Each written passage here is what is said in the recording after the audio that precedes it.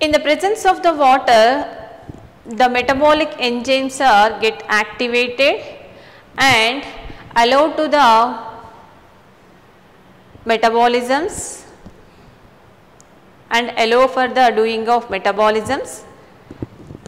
In the water plant water relationship, the water is universal solvent, the water is required for doing of all metabolic processes.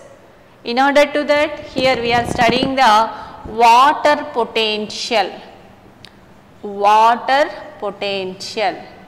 The water is moved from cell to cell, one part to another part, roots to tip of the stem, roots to leaves, roots to stem. So, like the water is moved. The water movement when it is moved it required some energy. So, the required energy is called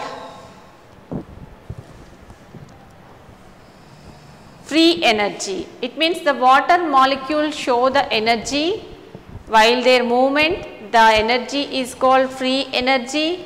It is also called chemical energy. The chemical energy of water is called water potential. What is water potential?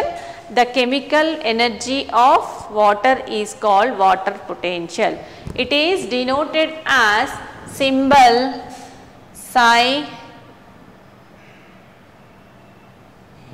symbol psi.